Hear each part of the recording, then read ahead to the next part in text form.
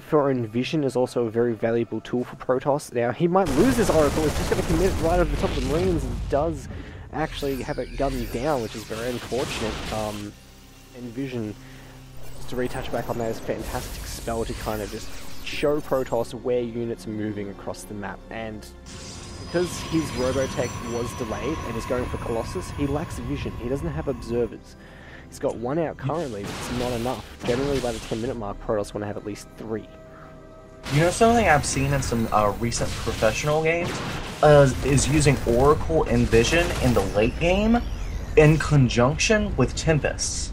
Oh yeah, Uh, that's, that is- parking behind a mineral line, you can just constant siege the mineral line. There's nothing your opponent can do because Marines cannot reach the Tempest. Beautiful stuff. Now the Colossi is chasing this small group of Marines all the way home. Fortunately for the uh, Terran, uh, he can easily outrun a Colossi, but he is going to lose that factory. And it was just Stranded decided to kind of commit his factory in the middle of the map, and these Stalkers are going to clean it out. So this is going to be very pesky if he wants to continue to make any extra starports. And if he doesn't have an armory down by now, he's going to find himself in a world of hurt. And oh no. I'm, I'm a little bit concerned actually about this command center. Yeah, he's def he was sending it to the middle of the map as well. Um, now he's taking it to the third where it should be, but uh, that was a little bit risky. Definitely a little bit risky. Now, MVP is kind of switching it up. He's going between Colossus to Observer to Colossus to Observer, and this is the main issue on such a map, on a wide map like this. And does he have a mothership core? Yeah, he does. Okay, I was going to say if he didn't have a Momo call, then I. I think he's going to find himself in a very interesting position to kind of defend multiple prong drops, but it does look like Stranded now moving down to the right hand side. Wants to put some pressure onto this third base, but with Colossus in position, I can't imagine too much damage being dealt here. But he's going to lift up, and where is he going to go next? There is no telling, man. This guy sends his uh, buildings everywhere. Um, so maybe he's doing the same thing with his drops. Now, it looks like this is going to go right here into this little hidden corner of the main. There's a lot of open space here. Unfortunately, though, he reveals the drop. Uh, he did not do that in Fog of War, so his opponent getting a huge advantage there. But still, he's going to be able to kill off the Templar Archives. Oh, he's doing a fantastic job. Look at this. Snipes the Mothership Core, snipes the Twilight Council, snipes the Templar Archives. And now forced to get back, but Yeah. does plenty of damage Oh, in process. so cute. Going to move over here with the third. Currently only four stalkers in position. The Fire Force unloads and unleashes a huge payload of uh, basically their entire arsenal over here. This third is basically forfeiting Protoss' entire army is now trying to make its way back, leaving his But main it's super slow. And that's gonna leave that third Nexus dead, man. Remember how I mentioned earlier, super slow Protoss army. Never, never, never a good thing to have so few cannons. Hey, look at this, he has to like now rebuild his entire tech. His 2-2's about to finish. He can't get 3-3 until his Twilight's finished. Third And base is the worst and thing running. for him right now is that there's a huge count of Vikings and he has no stalkers. Oh, all too right. Look at that. The Viking count now He's overextending. This is gonna be it. Dude, this is game right here. These Vikings are gonna just rape these stalkers. There's nothing we can do about it. He loses these stalkers, he loses the game. He Even pulling. SCVs. It just looks like Stranded wants to end this right now, and Eternal Dreams could be looking at themselves a 3-1 lead over Quetzal. Quetzal. Man, that is such, a, such a unique name.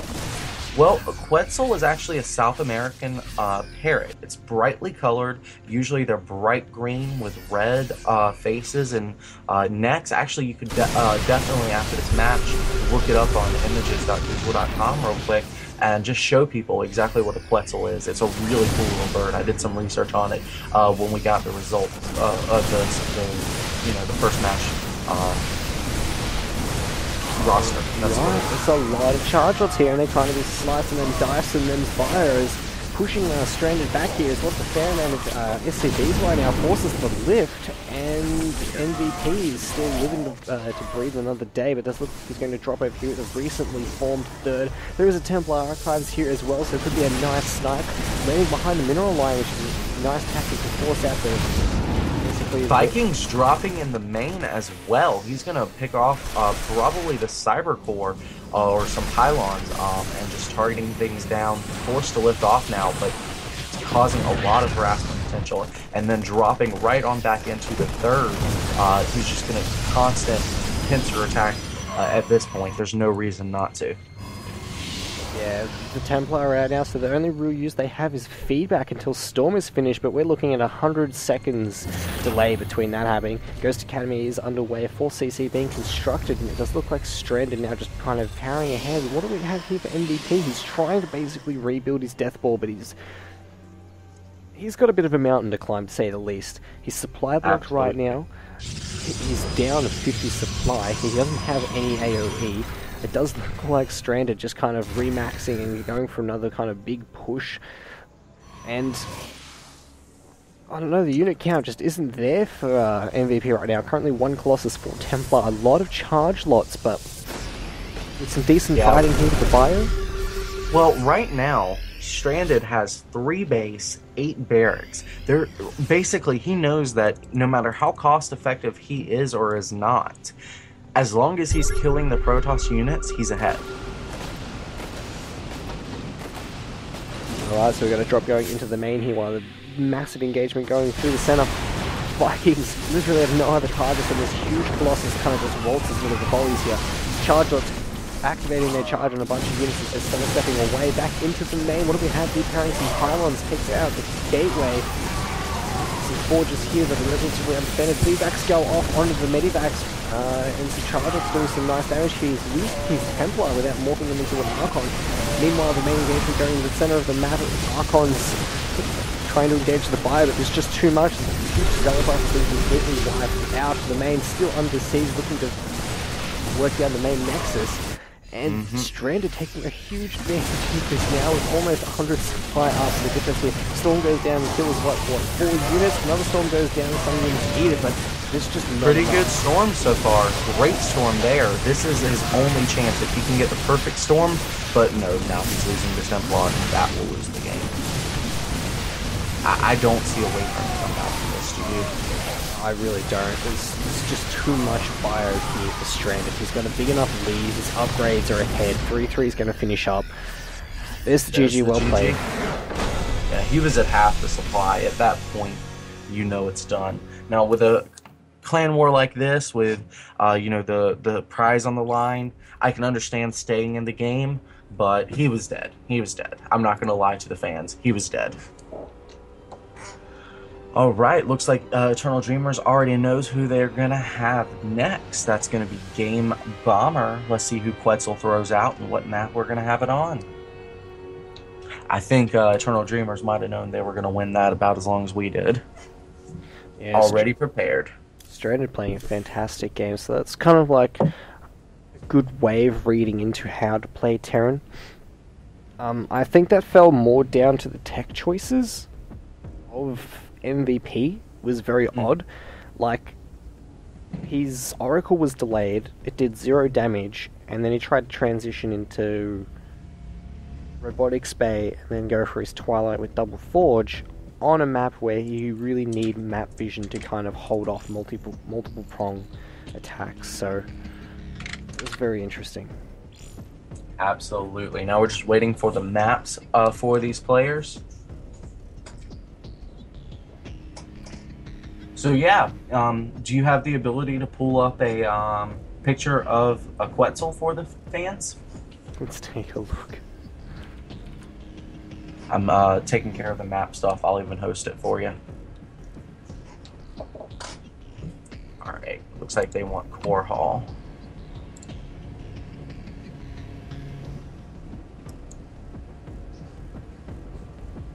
Google Images is a strange place. It also looks like it's related to some kind of dragon. Yeah, that's Quetzalcoatl. It's a uh, South American god. I think it's Incan, but don't quote me. Interesting. Ah, the bird. Very flashy looking bird. That's very pretty. Let's take a mm -hmm. look, mm-hmm. guys. So this is a Quetzal. Indeed, sir. Really nice long tail as well. Interesting. and then I'm pulling you in the game now. Right.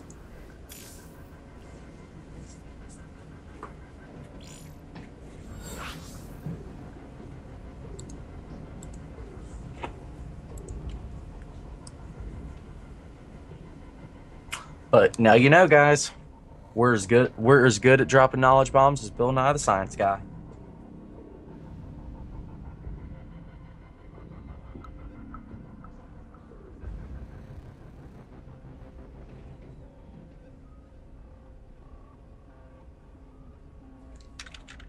Alrighty, we got the go-go from both players. Starting this now. Let's kick it off. We got another ZVP coming for you guys. Looks like it's going to be Game Bomber versus Dark. Is Eternal Dream is going to get even closer to wrapping this up, or is Quetzal going to claw their way back into this best of seven series? Well, I am pulling for the Zerg, which would make it 3-2, that much closer to a tie match. How about you? That would be kind of fantastic, but I don't know. I'm kind of torn. Not being a part of the North American scene, I don't really know who to root for. I'm kind of just looking at player versus player, and so far, Eternal Dreamers is showing us that they just want it more. Indeed, indeed. Maybe it's from all that dreaming. Who knows? Could even be lucid dreaming for all we know. Anyways, here on the top left hand side of Korhal, Sky Island, it's Quetzal's Zergy McFerguson Dark. And here on the bottom right hand side of that very same wonky, bonkers, bizarre map, it's our blue Protoss player for the Eternal Dreamers. It's the Bomber of Games, aka Game Bomber. So this is a really interesting map. I want to talk to you just a little bit about that. Um, it will always be cross spawns but it's kind of two maps in one in the sense that your bases are completely laid out differently depending upon where you spawn. Is it top left, bottom right, or bottom left, top right? What's your uh, impression of these two spawning points? I honestly veto this map, and my impression of this is I, I, just, I don't like it. I don't understand it. I look at it like who tripped out and made this map in the map editor? Who in Blizzard let this happen? Like, you've got the cooling towers, destructible rocks, things like that, especially on these spawning locations. The main and the natural itself, which is on a higher ground, relatively enclosed areas. So it kind of favors a little bit more, I suppose, air harassment styles or proxy shenanigans. If you see mm-hmm. that kind of plays come out, and vice versa. If you were to spawn on the other side, of the more natural kind of looking uh, expansions here, the map just plays out so weird with the thirds kind of being so distant. Mm-hmm. It's, it's, really interesting as opposed to these spawning locations. The thirders are a lot more relatively closer. You can kind of choke off one side of the map.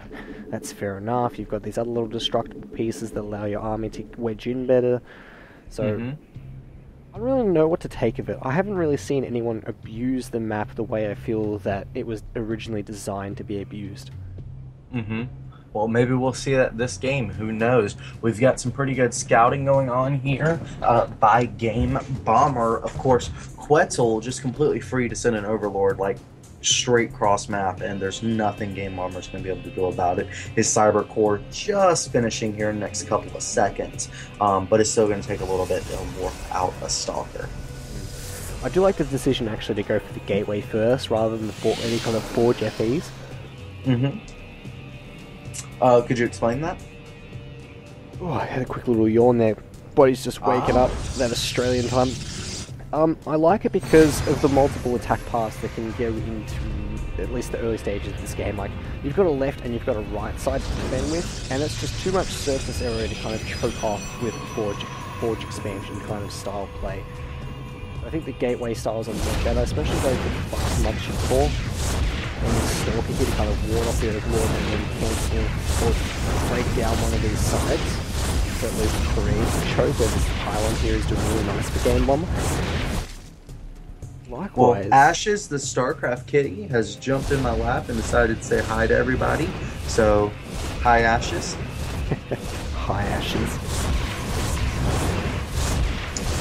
You were saying, sir? Just looking at Dark's setup, currently sitting there with the one gas, he's getting speed, going for eight Zerglings. So Mm-hmm. It's not going to be too over the top aggressive, but he definitely wants to get some nice poking damage going on his opponent at least, and maybe maybe make him feel uncomfortable going into these stages of the game. Game Bomber actually in a very defensive posture here, targeting down this rock tower so that he can only defend, have to defend one side of his uh, base. And is that a complete wall off? I believe it is. Interesting, interesting. Huh. What do you think might come out of this? We could see like a lot of heavier Stargate players, but we do see three extra gateways going down for sure. So bringing us up to a total of four gateways. He can definitely use pylons on the high ground to warp in on the low ground, but Mm-hmm. with this Stalker out in the middle of the field and Speed just about to finish, I would imagine Dark's going to clean this up pretty quickly. And he does have a probe in the more northern side of the map, kind of just hiding away there. But if it gets scouted, I would imagine any kind of aggression is just going to get shut down. Yeah. Well, this is kind of the uh, oh no screen. Um, wonder what's happening here. Believe the rules state that we will just do a resume from replay if uh, necessary.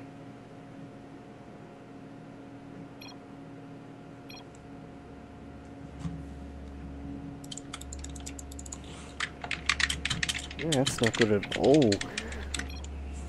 The dreaded, dreaded waiting for players screen. I wonder whether or not his computer just kind of shat itself, or whether or not he's just timed out. There's some kind of internet problems. Yeah, bear with us, guys. Problem should be fixed relatively shortly. Mm-hmm.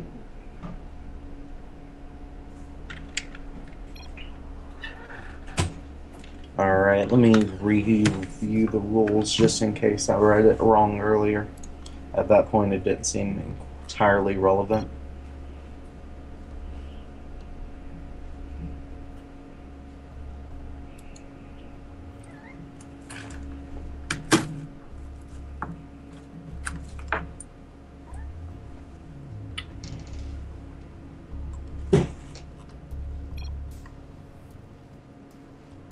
I'm double checking that now, though. Oh, Oh, never Oh, mind. We're he's still here. back. Alright, the game is going. Alright, guys, we're back in it. Fantastic. So, no drop has occurred. We do see the pylon now going down at the north, but there's a huge influx of Zerglings. He's currently looking at 38, so he's really cut into his drone production right now, and he really wants to bust him out, but. How is this going to be? Oh, what? That's not a Link, that was wall. not a complete. Wow. straight into the main, and I think that could potentially just be game right there. He's warping in Zealot, but it's not enough. More Zealot basically straight in. He needs to get a block off. He needs to use the pro. These pros, if they're going to get cancelled. Warping in more So Zealot. far, but it's just not killed. That's good. Yeah, there's no way Game Bomber can recover from this, and it does look like uh, Quetzal is looking to bring it back to 3-2, so they're not out of the series entirely at all, and there's the GG from Game Bomber. Wow. Quetzal taking another victory on the back of some incredible aggression. That makes it 3 2, my friend. We were both waiting for it. I, I, I don't know how to feel about that. I looked at it and I'm like, that looks like a pretty solid wall. Clicked on it, there doesn't look like there's a gap there, but Zerglings really underestimate Zerglings and have the mm. little tight spaces they can squeeze into. Now, as a Terran player, I definitely know them feels. Un- unfortunate for Game Bomber, he was looking to be aggressive, but the huge influx of Zerglings for Dark just kind of seen him take away the win, so Indeed, sir. Before Dark and Game Bomber, who played? I'm writing down the results for the league. I believe. What did we have? Go to dem, dem replays. We had MVP versus Stranded. Okay. And who took that? Stranded. Stranded.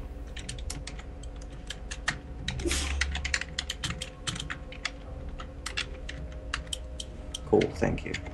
Oh, Eternal Dream is telling me that one of their players hasn't showed up. They have another player on, but he wasn't listed, so what happens? Um... Give me one second, I'm reading the rules.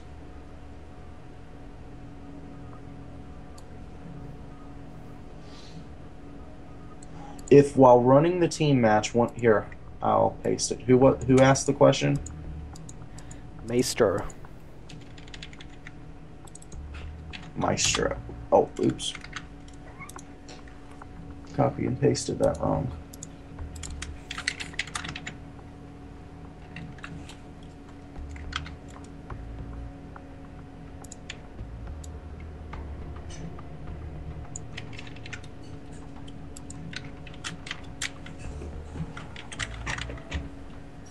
Alright, I just sent him the rules. Um, in case people are wondering, if while running the team match, one player of the original roster disconnects or isn't available, captain or coach can pick another one out of roster, but this can only be used three times on league. If there is a fourth time, team will be punished losing that team match. If there's a, oh, um, three substitutions per team in all regular season. Well, that's not so bad. These guys have thought of everything. How do you, what do you think about that? Love it. So we will be continuing this series. Eternal Dream Makers will be setting up a uh, substitute player.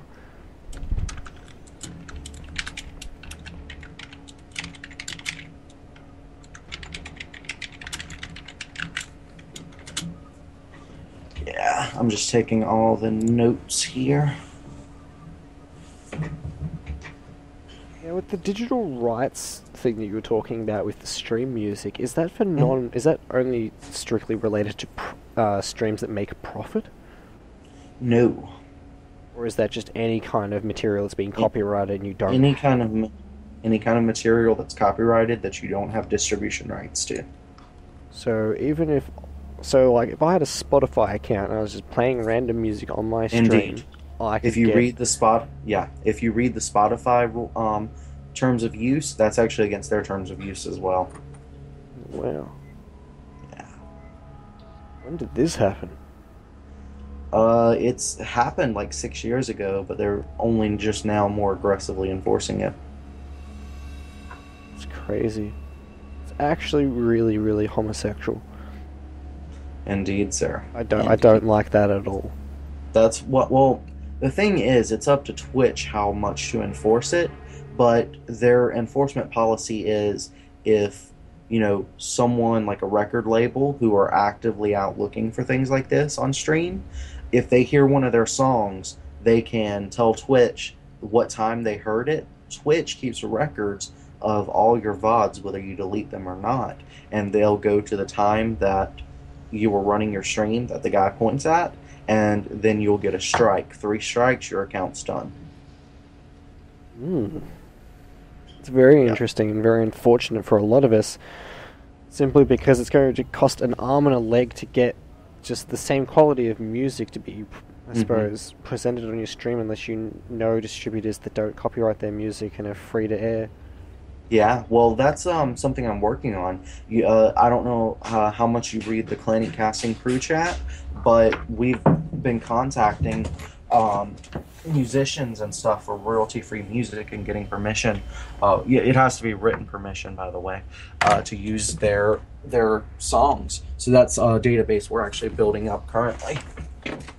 And for anyone that's watching and wants music on their stream, how do you get a written inform well, a written contract over the internet? I'll let you host, by the way. Alright, let's have a look. What map are we doing? Newkirk Precinct. What was your question, though?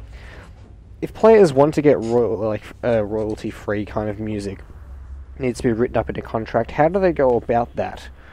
Well, you can either kind of contact the musician, but nine times out of ten, if a musician is signed to a label, they themselves don't have the right to give you permission. You have to go to the label. Um, so that's kind of where you're at there, which is why I usually talk to like unsigned artists and that sort of thing. YouTube is even more like aggressive with it because they have uh, like basically computers programmed to surf through the audio of all your music or your casts or your videos or whatever. And if they recognize something programmed into their algorithm they will go ahead and um, mute your entire video all right looks like the players are getting impatient uh, have you got that hosted Who are we inviting in? I know it's on Newkirk and Ravage, but it's telling me I need to add Ravage as a friend. I can't invite him to the game. Hold on one second.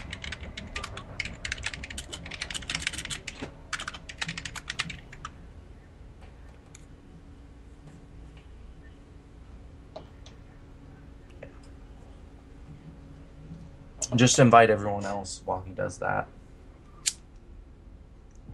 Vino for Quasar, invite to game? What? Yeah, Veneno is playing for Quetzal. Alright, we have a likewise problem. Scroll over his name and I can't invite him. Oh no, now he's out of whatever he was in. He might have been trying to host the game himself. Ah, beautiful, here we go. Mm-hmm.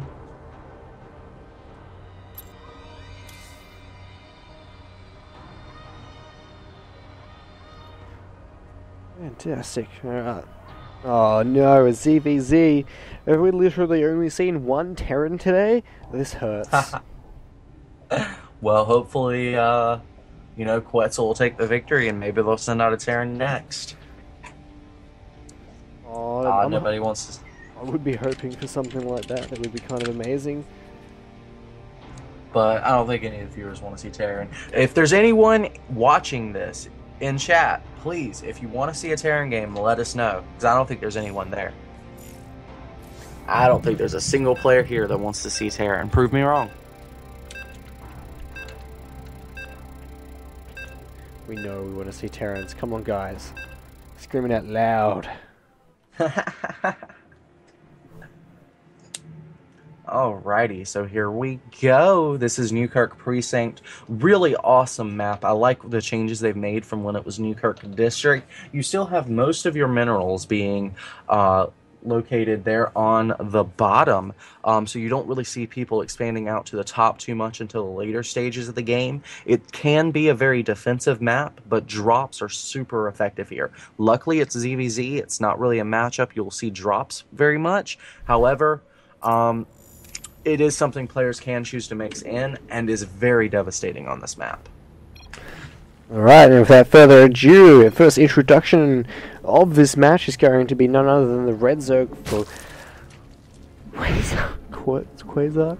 Quetzal. Quetzal. That name escapes me and makes my mind want to do terrible things. Like, just bad. Alright, it's none other than the Red Zerg, Veno. I'm gonna call him Vino. Veneno. Venino. Anyways, here Why on the bottom left hand side, they are Latin American, bro. Don't pick on them.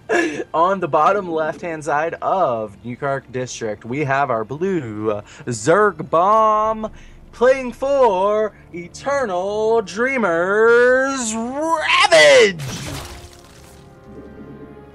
And apparently, people in chat said, "Screw Terran. We want Protoss. We want PVZ. That's what's up. Represent." Dun, dun, dun, dun. Oh, ah, it's terrible. Especially on a Terran map. Look at this. Terran Pride right in the middle. We see the two wolves and the two overlords about to headbutt into each other. Ugh. Well, we've actually, actually, I think it's gonna be a high five. High five. What's up, bro? High five. All right. What's with the wolves? I've always wondered that. Like, there's nothing about wolves in any of the lore. Like this Terran Confederacy, were like, yeah, we're gonna leave planet Earth. We're not bringing wolves with us. They're gonna eat us. Um, there's nothing about like rednecks and wolves. I promise you. I'm from the South. I have got no idea. The wolf. Oh, this whole wolf thing. Maybe it was because of uh. Oh, what are they called? They were a unit that they bring in. And hold they- on, hold that thought, really- hold that thought. Pool finishing for both players. We've got Lings coming out. And we'll have Wow. speed just to join it really, really soon here. This is 3 2. So let me explain what's going on here. ETND has a game to play with. It's close, but they are ahead. So it's not too surprising to see them doing some cheese. Quetzal, on the other hand, oh my god, dude, this is gonna eliminate you if it doesn't work. But it could work. This could be pretty